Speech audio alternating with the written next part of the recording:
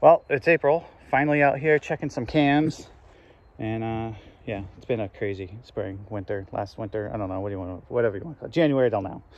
So what, uh, finally getting out there, added um, some minerals and stuff finally. And then um, changing batteries in the cams. They haven't been touched since December.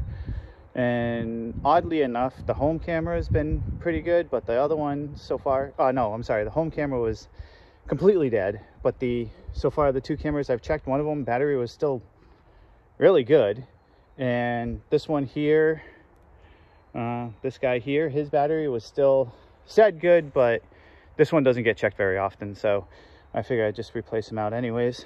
And so we'll see um, how the rest of it's going. I'm gonna put out some gonna be putting out some other uh, stuff out in the field where we had um, that plowed out and hopefully uh, maybe get some stuff in the spring happening now. It's supposed to rain fairly good tonight, so hopefully that'll help. And then it's going to be warm this week, which will ideally help germination. So hopefully we'll see a little bit better.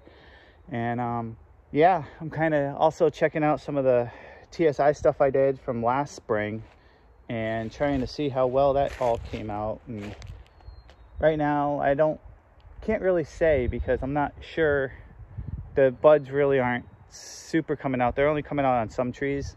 Um, I don't know if they're coming out on all the trees. I know when the other spot I looked at, um, two or three of the trees I did cut still had buds on them now. So obviously it didn't take very well on that, but we will keep moving forward. But some of the trees around this area seem to be, you know, staying fairly dead as a you know, kind of want to see it, say it, so that way we can get some sunlight to the ground and open up this canopy more. And maybe this year also cut down a lot of, take out my chainsaw, cut down a lot of these other little tiny trees that are coming up. So hopefully we'll see what's going on and, and see how things go. And let's see what the trail cams say, because if some of these still have batteries, that means they're going to have pictures. And if they got pictures, that means ideally we start getting some now that the home camera is no longer dead.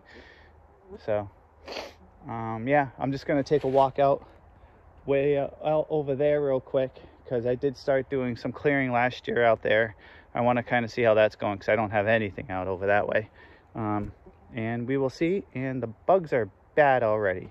And it's, I should probably take my t-shirt, my long sleeve shirt off and we'll move from there. All right, stay tuned to see how well this works out for this year.